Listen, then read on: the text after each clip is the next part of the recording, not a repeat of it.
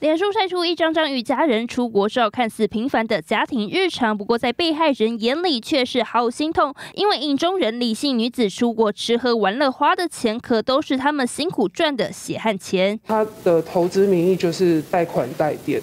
就是帮别人清偿贷款，而从中赚取就是手续费。三年前带着小朋友到新北一家补习班上课，认识了当时还在补教业任职的被害人，邀请他一起加入贷款代垫业务，从中赚取利息。一开始确实是有拿到钱，直到去年底钱开始没有入账，李姓小姐也避不见面，被害人才惊觉遭到诈骗，而且粗估非法吸金超过上千万。后来他讲的那些案子，他说成交了，然后那些钱都。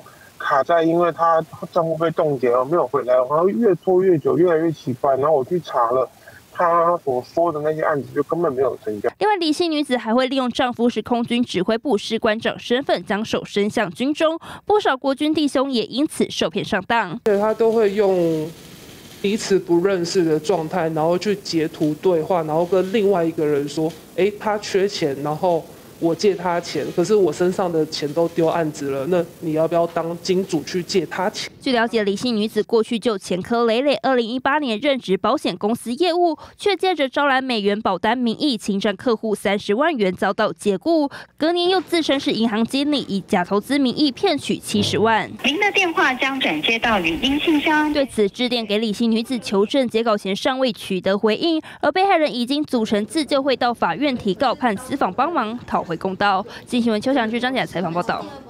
立刻下载静新闻 App，一手掌握新闻时事，尽善尽美，尽好新闻。